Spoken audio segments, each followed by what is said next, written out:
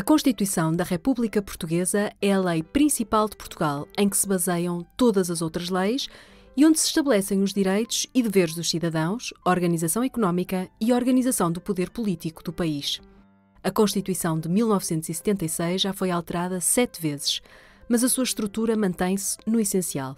Veja o próximo vídeo sobre os princípios fundamentais da Constituição.